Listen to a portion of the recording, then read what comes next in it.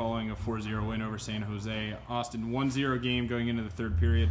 Team gets three goals in the first five minutes or so. Um, what happened in the second period that really got you guys to kick the door in there? I think uh, we knew we didn't play our best in the second, so uh, you know we wanted to come out, get the win for John because he played so well tonight, and uh, you know we came out buzzing, and you know we got three goals and helped him get a shutout. So I think it was a good team win overall. You know we uh, bent but didn't break.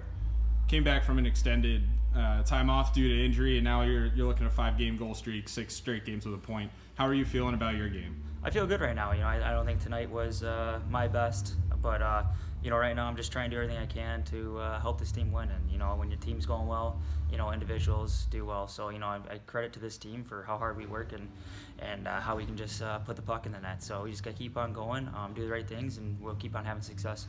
This team's now six and zero oh on the year following regulation losses. I know you haven't been here for many of them, but uh, from what you've seen as a newcomer, what do you think it is about this group that allows the team to be so resilient? Yeah, I think uh, good teams don't lose two in a row, you know, and that's one thing that we uh, like to establish. We talk about that uh, all the time here. So, you know, for us, it's uh, coming in ready to work every single day. You know, good defensively and have have that have that lead to offense. So, I think we do that every night, and uh, you know, and, and we're just going to keep on trying to roll with it.